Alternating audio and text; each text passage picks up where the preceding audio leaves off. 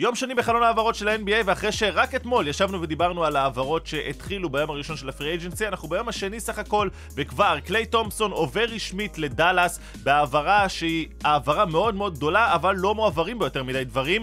ב sign and trade ששולח אותו לדאלאס בתמורה לכמעט כלום ושום דבר, שתי בחירות סיבוב שני שמועברות מדאלאס לגולדן סטייט, בגדול זה מה שהם הצליחו להשיג עליו. הוא חותם על חוזה של 50 מיליון דולר לשלוש שנים, לוקח כאן איזשהו pay cut בשביל להיות בקבוצה תחרותית, ולדעתי זאת התאמה מצוינת. מצוינת עבור דאלאס, שחקן שיכול לתרום להם מאוד, וזה נותן לדאלאס טריו מפחיד בחלק האחורי, עם קיירי, לוקה כמובן, וקליי תומפסון. ואני יכול להבין את ההחלטה של תומפסון להגיע דווקא לדאלאס ולא ללייקרס. הלייקרס קודם כל הציעו לגולדן סטייט את אה, דיאנג'לו ראסל, זה לא עניין אותם על פי דיווחים, ועוד דבר מעניין שדווח זה שהם רצו להעלות את קליי תומפסון מהספסל. לכן יש כאן הבנה, לפחות מבחינתי, למה הוא העדיף לא להישאר שם, אולי נעלב גם מההצעה שלהם לעלות מהספסל, ורצה להיות עדיין פקטור משמעותי בקבוצה שרוצה לנצח. עכשיו, בדאלאס הוא יצטרך הרבה פחות לכדרר והרבה יותר רק לקלוע, שזה משהו שהוא עדיין עושה באחוזים טובים, כמעט 40% מחוץ לקשת, וכולנו יודעים כמה הוא יכול להתחמם מהר ולקלוע הרבה נקודות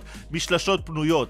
ודווקא כאן אני רוצה להגיד שאני יותר חושב שההתאמה שלו לשחק לצד לוקה היא מתאימה עבורו מאשר לשחק כרגע בלייקרס. אני אומר את זה למרות שרציתי וקיוויתי לראות אותו משחק ליד לברון, ואני אוהד גדול של לברון ושל המשחק שלו, למי שמכיר ויודע, אני מדבר על זה כאן הרבה, אבל אני חושב שבמובן מסוים לוקה והצורה שבה הוא מצליח למצוא שחקנים סביבו לשלשות פנויות זה הלברון החדש. ואני אסביר למה אני מתכוון. כשלברון שיחק ב prime שלו, הוא היה צריך כמה שיותר קלעים סביבו, כי פשוט היו מצמצמים מולו את הצבע ומגיעים לדאבלים, טריפלים, משאירים קלעים חופשיים על השלוש, ולכן היה חשוב מאוד שחקנים שיוכלו לרווח. היום עם כל האהבה ללברון והגדולה שלו, ובאמת מה שהוא עושה בגילו זה מדהים, הוא לא אותו שחקן, אבל לוקה עדיין כן מצליח לייצר את אותו אימפקט כמו של לברון ב prime שלו, ואפשר גם אולי לטעון שהוא מוסר טוב יותר מלברון. במובן הזה, קליי תומפסון ייהנה מאוד לדעתי מלשחק לצד לוקה, ואני מאוד מאוד אוהב את ההתאמה בין השחקן לקבוצה. כאן חייב גם להגיד משהו נגד גולדן סטייט שהיא המפסידה הענקית פה של ה free אה, agency בינתיים. גולדן סטייט הייתה ידועה שנים ביכולת שלה לבחור שחקנים מדויקים בדראפט, וגם אגב, קליי תומפסון וסטף קרי, והצורה שפיתחו אותם, זה בחירה מדויקת דרך הדראפט, בנייה טובה דרך הדראפט, הם תמיד הצליחו למצוא יהלומים, והפעם חייב להגיד שהיא מפסידה כאן בענק בגלל שהיא בשנים האחרונות מאבדת את קליי תומפסון, את ג'ורדן פול, כשהוא עוד שיחק בגולדן סטייט היה לו ערך, לא כמו עכשיו, קריס פול וג'יימס וייזמן, הבחירה השנייה שלהם בדראפט, בלי לקבל כמעט תמורה. זאת אומרת שבשנים האחרונות הם באמת לא מצליחים לעשות יותר מדי החלטות טובות, למרות ששנה שעברה יש להם כמה שחקנים באמת נחמדים שנכנסו להם לרוטציה דרך הדראפט. כרגע היא המפסידה הגדולה, ויכול מאוד להיות שהיא קבוצה שהולכת להיות בתחתית המערב בשנה הבאה, ואנחנו רואים פה את הסוף הרשמי של הקבוצה הגדולה ששלטה כאן במהלך העשור האחרון. אגב, בעסקה עצמה גם ג'וש גרין עבר להורנץ, אבל זה לא יותר מדי מעניין אף אחד. כאן נעבור גם לשאר העסקאות, ולכל מי ששאל אותי בסרטון הקודם לגבי עסקאות, כמו לדוגמה הארכת חוזה של סיאקה, או העברה של מיקל ברידג'ס, דיברתי על זה עוד לפני הדראפט, העליתי סרטון על הדראפט עצמו, זה בחלק השני, או איפשהו שם בסרטון הזה. אז אתם יכולים להיכנס אחר כך לערוץ ולצפות. מו במבה חותם בקליפרס בתמורה לחוזה מינימום. קריס דאן חותם בקליפרס, והאמת, זאת החתמה שאני אוהב. קריס דאן הוא שומר מצוין, הוא שחקן שלא כופה את עצמו על המשחק, והוא יכול להתאים מאוד למה שמנסים לבנות שם בקליפרס. אחלה שחקן בעמדת הרכז. גרי האריס חוזר למג'יק, וחותם שם על חוזה לשנתיים על סך 14 מיליון דולר. שחקן שקולע 37% לשלוש, ויכול לספק שם נקודות מהספסל. גארט טמפל חוזר לרפטורס. גוגה ביטאדזה, גם שחקן שנשאר במג'יק, מרגיש שהוא כבר איזה 10 שנים בליגה, אבל הוא רק בן 24. חותם על חוזה על סך 25 מיליון דולר לשלוש שנים. זאת אומרת, אה, המג'יק מנסים לשמור כמה שאפשר את השלד שהצליח להם בעונה שעברה.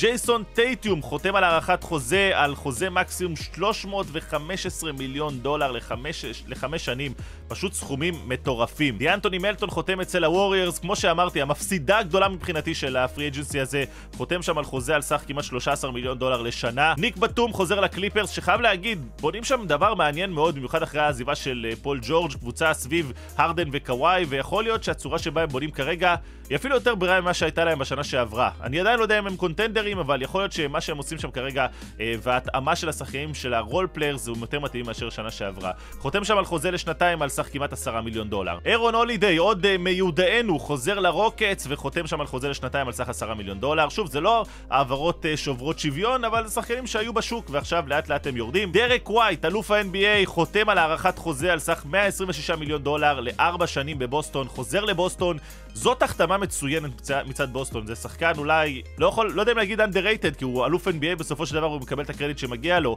אבל הוא שנים, כמה שנים טובות היה underrated לחלוטין מבחינת התפוקה שלו בשני צידי המגרש, שלאו דווקא תמיד מתבטאת בנתונים יבשים, אלא יותר בתרומה שמבחן העין רואה וקשה לו לפספס. סוג השחקנים שמתאים לכל קבוצה בליגה, ובוסטון משמרת את השלד החזק שזכה באליפות השנה. טוביאס האריס חוזר לדיטרויט בחוזה לשנתיים אה, על סך 52 מיליון אה, דולר. זה לדעתי החתמה שהיא סבירה עבור דיטרויט, זה שחק... מסוג השחקנים שיסכימו להגיע לשם, לא הרבה שחקנים יסכימו, זה אולי יוציא אותם קצת מהמצב של הקבוצה הכי גרועה בליגה, וייתן להם קצת נוכחות של שחקנים עם ניסיון, וכרגע גם יש להם כסף, כל עוד יש להם הרבה צעירים, יש להם כסף לזרוק בחוזה שהוא לא ארוך טווח, אלא חוזה סך הכל לשנתיים. ומכאן אנחנו עוברים לאחת ההחתמות שפוטנציאלית יכולה להיות אחת המשמעותיות בליגה, וזה הזוי להגיד, אבל איזאה הרטנסטיין עובר לטנדר, ויצא לי לדבר על זה, האמת, עם אנשים לפני שהוא עבר, שהוא יכול להיות התאמה מושלמת, ואני באמת באמת מאמין בזה. זה מסוג השחקנים שאוקלאומה הייתה כל כך חסרה בעונה שעברה, שחקן שלא צריך את הכדור בחלק ההתקפי,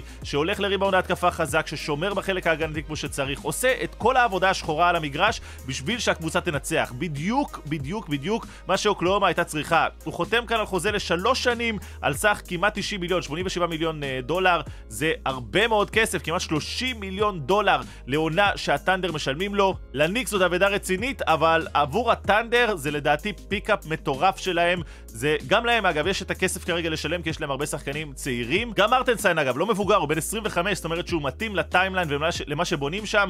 לדעתי, התאמה מושלמת. נכון שהכסף שהם שילמו לו הוא אולי קצת יותר ממה שמגיע לו מבחינת המספרים היבשים, אבל מבחינת התרומה ומה שכרגע אה, אוקלהומה צריכה, לדעתי הוא מתאים להם בצורה מושלמת. כי גם אצלם יש הרבה שחקנים צעירים שהם עוד יצטרכו לשלם להם, אבל הם לא חייבים לשלם להם כרגע, כי הם עדיין בחוזה rookies אה, כאלו או אחרים. בין אם זה וואלאס, בין אם זה צ'אט, בין אם זה דורט, זה שחקנים שחתומים שם לעוד שנתיים-שלוש, וככל הנראה יצטרכו לשלם להם גם כשהחוזה של הרטנשטיין ייגמר, ואז יצטרכו לקבל החלטות. לדעתי pickup מטורף של אוקלהומה. טייריס מקסי כצפוי חותם על חוזה חדש אצל ה-76ers, חוזה מקסימום, אה, וזה אחרי שפול ג'ורג' חתם, הם החתימו אותו אחרי כדי ש...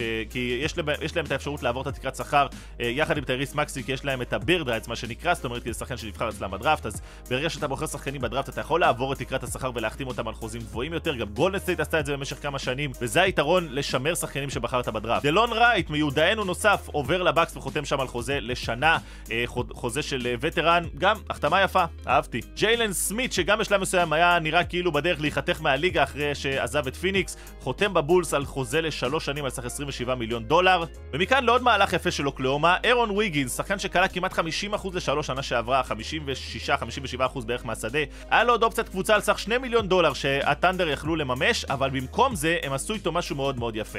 הם אמרו, אנחנו לא מממשים את האופציית קבוצה, אלא אנחנו רוצים להחתים אותך אחרי שנבטל אותה על חוזה לחמש שנים על סך 47 מיליון דולר. עכשיו, כשמסתכלים על הנתונים שלו, זה שחקן שקולע פחות מ-7 נקודות למשחק, משחק 15 דקות בערך, אבל כשמסתכלים גם על החוזה שהוא מקבל כאן, סך הכל, סך הכל אני אומר במרכאות, כן, קצת מעל 9 מיליון דולר לעונה. עם הסכם השכר החדש זה הופך להיות כלום כסף, ושחקן שיכול להתפתח לאחד החוזים הכי טובים ונוחים בליגה. הוא בן 25 כרגע, הוא יוכל להמשיך לתרום לקבוצה הזאת, ואולי גם יקבל רול קצת גדול יותר. אם הוא ימשיך לקלוע באחוזים כאלו, אין ספק שהוא יקבל עוד מקום uh, בקבוצה בשנים הבאות, וב-NBA בוודאות. אז ככה שאוקלאומה גם משמרת כנכס בצורה שמראה נאמנות גם לשחקנים שנמצאים בקבוצה וגם לשחקנים מבחוץ. זה דבר, מהלך שהוא מאוד מאוד יפה. מאוד מאוד אוהב את המהלכים של הטנדר במהלך הפרי אג'נסי הזה. ומכאן לעוד שחקן שהיה בחירת סיבוב שני אצל אוקלאומה, וגם מעריך חוזה איזאה ג'ו, שגם הוא כלה מעל 41% אה, שנה שעברה לשלוש, מקבל הארכת חוזה של 4 שנים, 48 מיליון דולר, 12 מיליון דולר לעונה, וזה גם מסוג השחקנים שאוקלאומה הפכה אותם משחקן בחירת סיבוב שני לחוזה נוח שהוא על חוזה של 12 מיליון דולר או 9 מיליון דולר כמו שהראיתי לפני כן,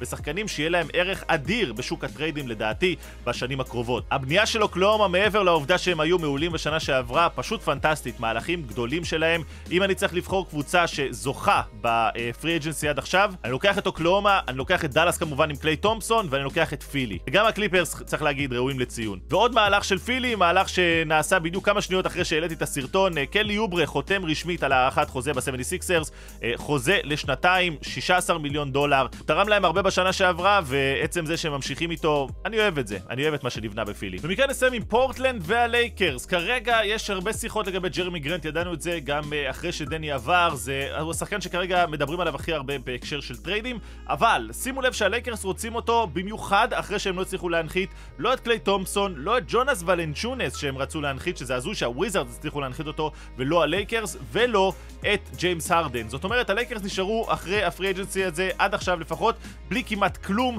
הקבוצה לא הצליחה להתחזק. אל תתפלאו אגב, אם במהלך ה trade הזה אנחנו נראה את הנינג'ה משחק עם דני שוב פעם במדי אה, פורטלנד. ואם יש עוד קבוצה שהיא המפסידה הגדולה של ה free agency יחד עם גולדן סטייט, כרגע לפחות, זאת הלייקרס. אם הם יצליחו לעשות trade כאן תלוי איזה trade זה יהיה, אבל לא בטוח שזה יגרום להם להיות מנצחים יותר מדי גדולים, כי כרגע אין עדיין מספיק עזרה ללברון ג'יימס ואנטוני דייוויס, בשביל שגם אותם יהיה אפשר להכתיר בתור קונטנדרים. זה החלק השני, וככל הנראה יהיה גם חלק שלישי, כי יש הרבה מאוד העברות שיש לדבר עליהם ב free agency האחרון של ה-NBA, ובטוח יהיו גם עוד טריידים, ואם לא הספקתם להתעדכן עד עכשיו, אז יש על המסך גם את החלק הראשון, וגם אולי את החלק השלישי, אם כבר הוצאתי אותו ואתם רואים את זה בדיעבד. יאללה ביי.